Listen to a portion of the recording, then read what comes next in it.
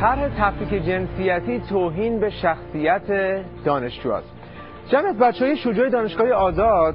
با صدور بیانیه نسبت به اجرای این طرح سطح توی دانشگاهشون واکنش نشون دادن که در اینجا می‌خواستم قسمتی از بیانشون رو براتون بخونم. این دوستان نوشتن دانشگاه نه تنها پادگان نیست که حوزه علمیه هم نیست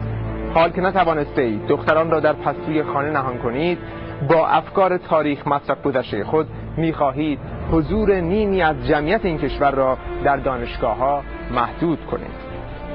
بچه دانشگاه آزاد در ادامه این بیانیه اینطور نوشتند. دانشگاه را به محل آمده شده نیروهای امنیتی و بسیجی تبدیل نموده اید و برای آنهایی که در کوچه و خیابان بر روی دختران و مادران ما چماق و باتون فرود آورده اند سهمیه های آنچنانی قائل شده اید و مدارک آنچنانی داده اید ولی بدانید که این دودی است که آتش آن اول از همه در چشمان خود شما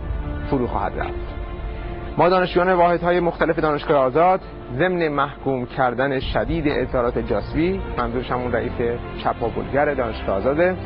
اعلام می‌کنیم که نخواهیم گذاشت افکار قرون وسطایی و طالبانی در دانشگاه آزاد پیاده شود. و در جهت برابری جنسیتی و رفع هر گونه تبعیض و تفکیک جنسیتی در محیط های دانشگاهی و همچنین در کشور عزیزمان ایران کوشا خواهیم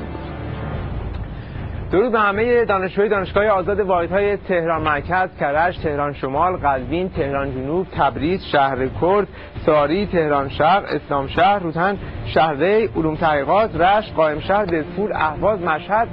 شاهرود، زنجان، گرمسار، عراق، تهران غرب، برامین، ارومیه و رواد کریم که این بیانیه رو امضا کردند و قصد دارند که تا آخرش هم پای این حرفا بیستند و هر طور شده طرح آخوندها رو با شکست مواجه کنند.